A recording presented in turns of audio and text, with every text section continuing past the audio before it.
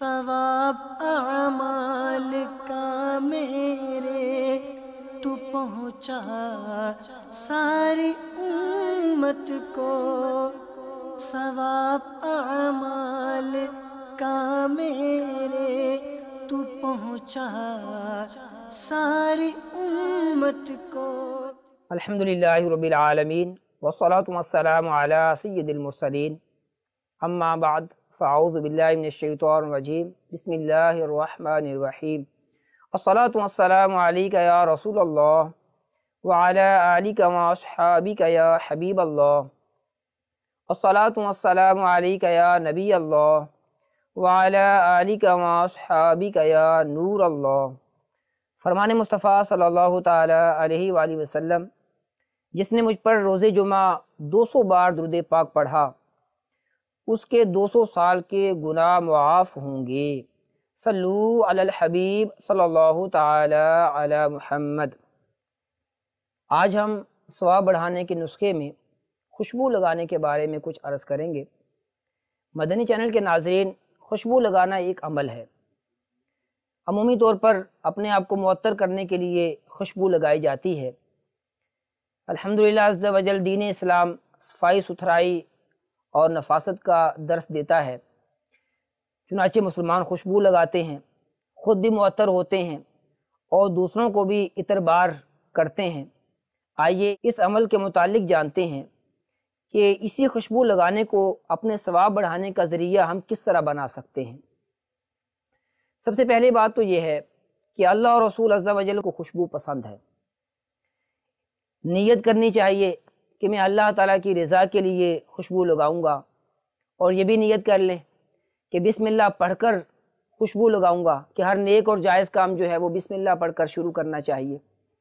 مزید یہ نیت کی جا سکتی ہے کہ جب میں خوشبو لگاؤں گا تو درود پاک بھی پڑھوں گا۔ کیونکہ خوشبو سونگ کر درود پاک پڑھنا یہ بھی باعث ثواب ہے۔ اور شکر نعمت کی نیت سے اللہ تعالیٰ نے یہ خوشبو کی نعمت عطا فرمائی۔ تو خوشبو لگانے کے بعد الحمدللہ رب العالمین کہوں گا۔ مسلمانوں کو فرحت پہنچاؤں گا۔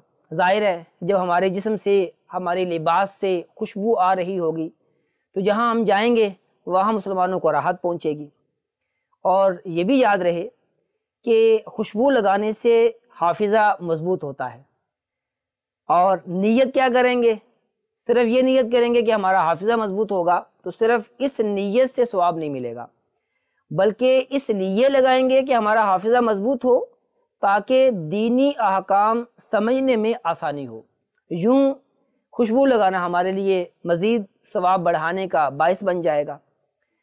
اللہ رب العالمین طیب ہے اور طیب یعنی خوشبو کو دوست رکھتا ہے، ستھرا ہے، ستھرائی یعنی صفائی کو پسند فرماتا ہے۔ یہ ہمارے پیارے آقا صلی اللہ علیہ وسلم کی حدیث پاک ہے۔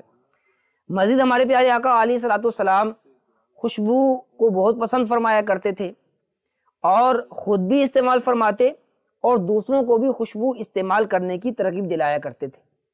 مدنی چینل کے ناظرین، یاد رہے کہ یہ نیتیں کرنے سے ہمارا ثواب بڑھ جائے گا خوشبو لگاتے ہوئے۔ لیکن بعض اوقات خوشبو لگانے میں شیطان اکثر غلط نیت میں مبتلا کر دیتا ہے۔ لہٰذا عطر لگانے میں اچھی نیتوں کا اہتمام خصوصاً کرنا چاہیے۔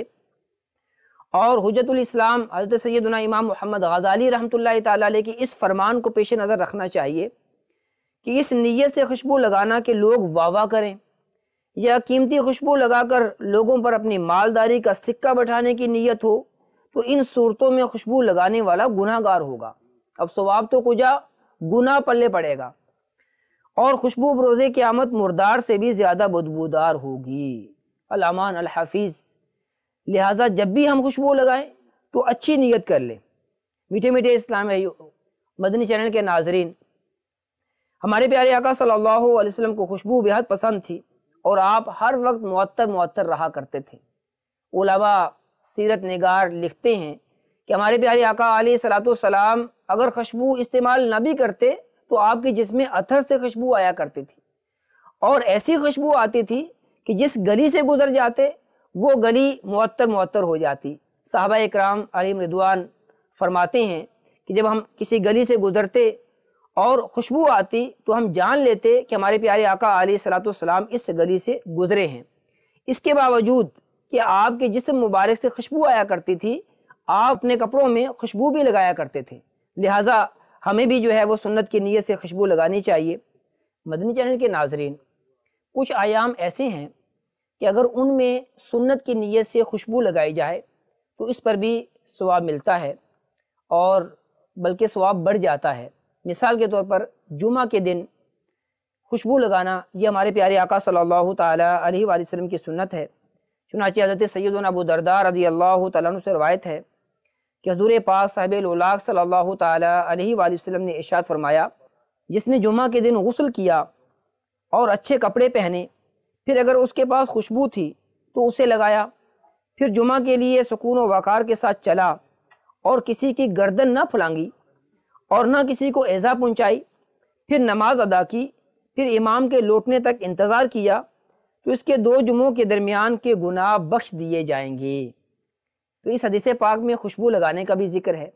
چنانچہ جب بھی ہم نماز جمعہ ادا کرنے کے لیے جاتے ہیں، تو جب تیاری کر رہے ہوتے ہیں، تو خوشبو بھی لگا لیا کریں کہ آج انشاءاللہ عز و جل خوشبو لگانے سے، اچھی اچھی نیتیں کرنے سے، جمعہ کی تقریم کی نیت سے خوشبو لگائیں گے تو اس کا ثواب پائیں گے۔ مزید بھی نیتیں کی جا سکتی ہیں کہ نماز جمعہ ادا کروں گا۔